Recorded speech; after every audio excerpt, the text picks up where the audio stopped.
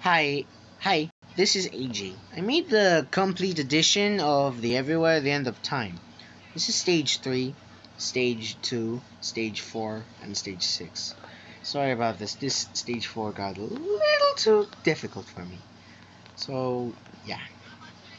Um, I'm going to trying to make stage 5 of the Everywhere at the End of Time. I just, um, trying to make one uh, was stage 5 in the Everywhere in the End of Time. So that will be completed. So yeah, um, can someone please tell me a little help to make stage 5? But nah, everyone don't know how to make stage 5, so yeah.